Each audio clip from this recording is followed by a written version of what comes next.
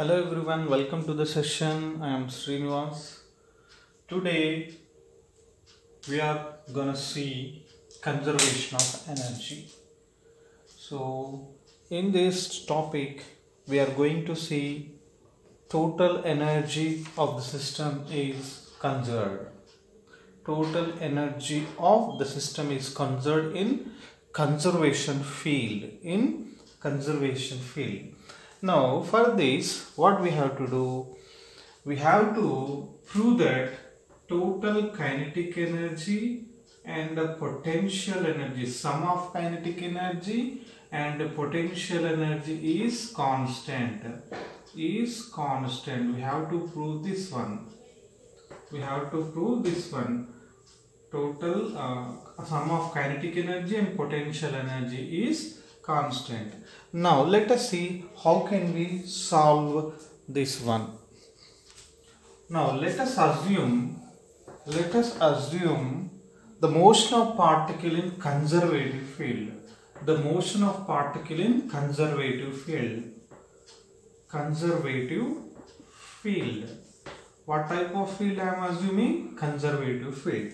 Now let us see if a bar is the force, if F bar is the force acting on a particle.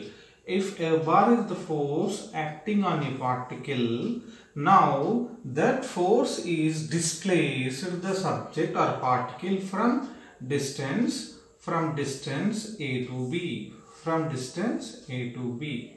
Now what I am doing, I am applying some force on the particle on the particle. Now this particle is moved from A to B. A to B. Now the, the resultant work done on the particle, the resultant work done on the particle can be written as like this. See here W equal to W equal to integral integral. Now the starting and final points, starting and final positions of the particle is what A to B integral a to b. That means what we are doing, we are going to find out total work done on the particle throughout the journey from a to b. So a to b and already we know that how can we write work done? Work done W is equal to scalar product of force and displacement. Now we have to write there F bar dot d r bar F bar dot d r bar. So this is the resultant work. Now we have to solve this one. See how can we write F according to Newton's second law rate of change of momentum. Right? What is force rate of change of momentum? dp by dt dp by dt. So how can we write momentum? Momentum can be written as p is equal to mv bar. Now substituting here then we'll get m into d v bar by dt m into d v bar by dt. Now let us assume this is equation 1 and this is equation 2. This is equation 1 and this is equation 2. Now again let us see how can we define velocity. Velocity can be written as defined as v bar is equal to rate of change of displacement. That can be written as dr by dt dr by dt. So, so from this equation what we get there? So dr bar is equal v bar into dt. dr bar is equal v bar into dt. So assume this is equation number 3. Now substitute 3 and equation number 2 and 3 in equation 1. In equation 1. See there what we get substituting all these two equations in equation 1 then what we get there? W equal to integral a to b. And uh, where in place of f bar we have to write m into d v bar by dt into dr position vector is what? V bar into dt so this one this one cancel. And mass is constant writing outside and integral a to b and we have the term v bar into tv bar.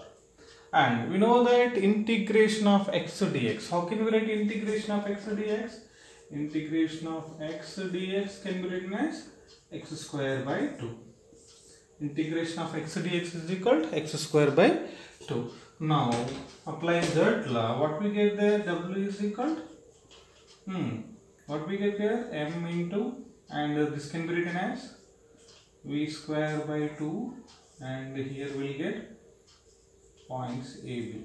Finally we'll write W is equal to M into hmm, 1 by 2 VB square minus 1 by 2 VA square.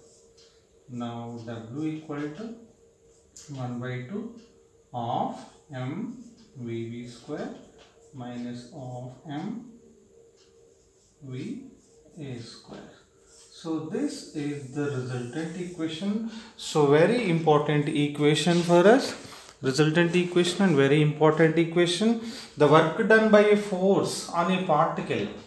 The work done by a force on a particle is equal to change in its kinetic energy. This is called work energy theorem. This theorem is also called work energy theorem. The force, the force the work done by a force acting on the particle is on the particle is equal to change in its kinetic energy. Change in its kinetic energy. This is called work energy theorem work work energy theorem.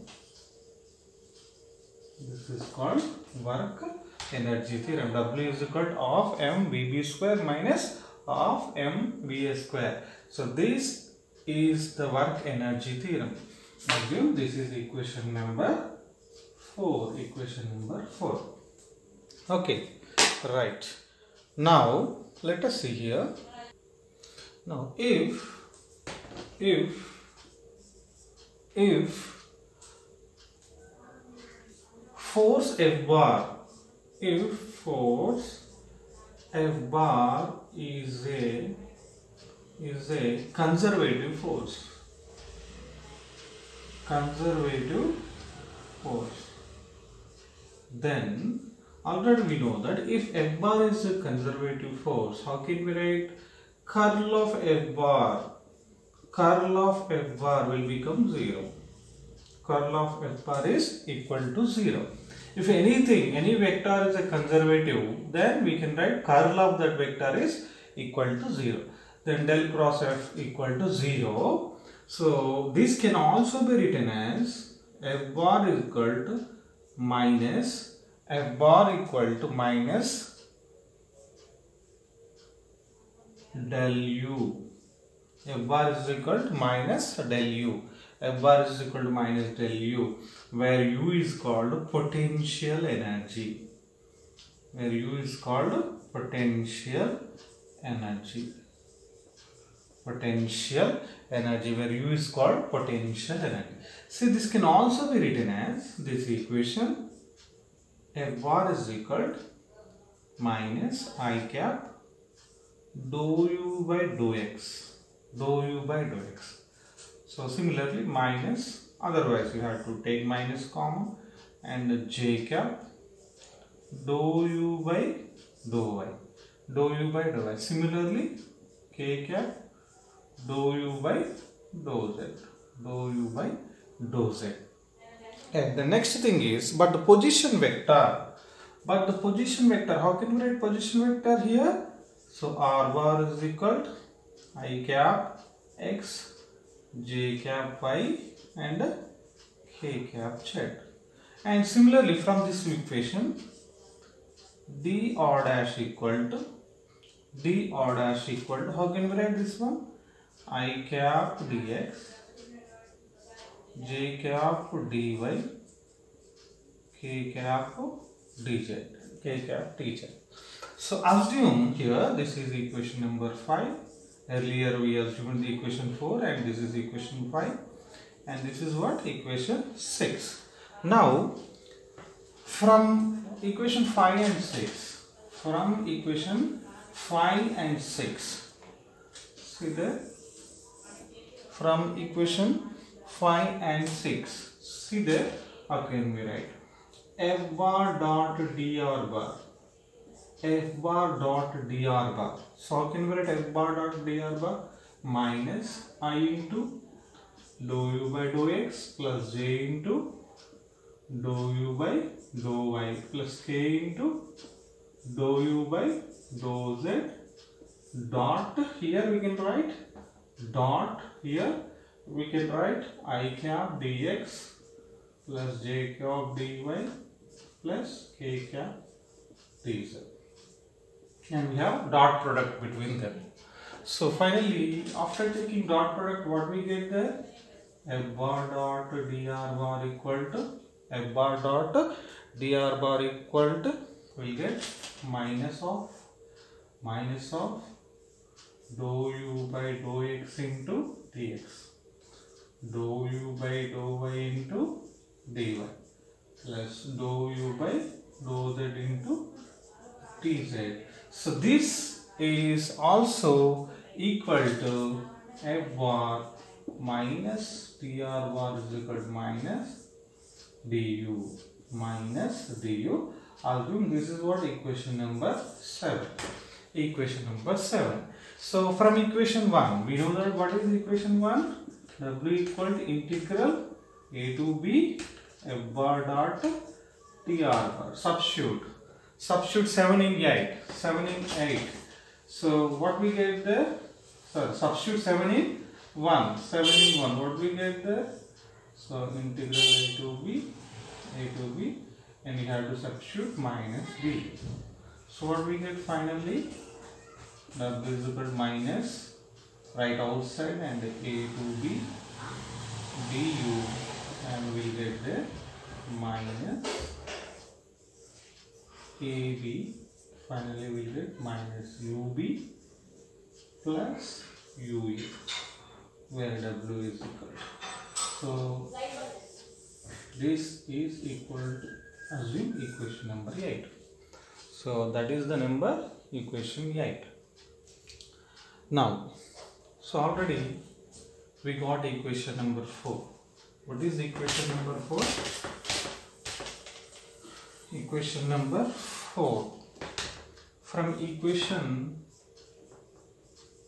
4 and 8 so what is equation number 4? W equal to 1 by 2 m VB square minus 1 by 2 m VA square.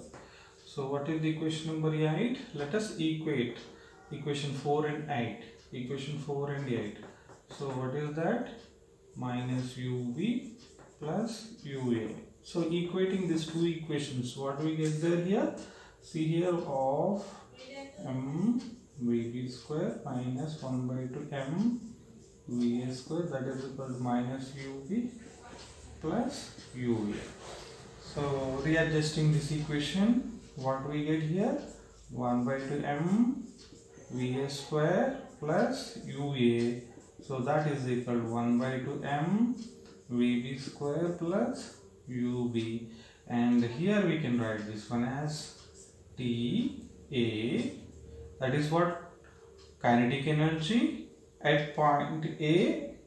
And here we can write UA potential energy at point A that is equal to TB plus UB so this can also be written as T plus U equal to constant T plus U is equal to constant see the sum of kinetic energy and potential energy is constant throughout the motion of particle from A to B. Wherever you take, wherever the position you take, that is that the total energy of the system is always equal to constant value. For example, if you take here point A and here point B is there, right? Now, if assume point C here, here we get a T plus U value, some value that is constant. If you take here D, point D, here at this point uh, kinetic energy, sum of kinetic energy and potential energy also constant, both are same. both are same values we get so somewhere it may be potential energy more than kinetic energy. Somewhere kinetic energy is greater than the potential energy. So whatever it is total energy remains constant. That should be in conservative field. That should be in conservative field. So in a conservative field if a particle move from a to b in the conservative field if a particle move from a to b. If a particle move from a to b the sum of kinetic and potential the sum of kinetic and potential energy remains constant.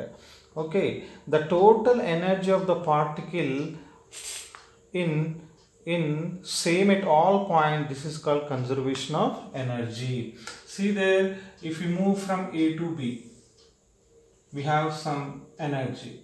If we move from b to a we have some energy total energy remains constant. So especially in conservative field especially conservative field the work done on the particle is independent of path of the particle. The work done on the particle is independent of path of the particle. Therefore total energy remains constant. If it is if it is non-conservative field if it is non-conservative field the energy the total energy required to move from a to b is may not be equal to move from b to a may not be equal to from b to a. So therefore what happen how can we write? Wab may not be equal to wba wab may not be equal to wba so this is all about conservation of energy so for example, if we take aeroplane, if it aeroplane is in the sky, if the aeroplane is in the sky, so what happened? Let us see. If the aeroplane is in the sky,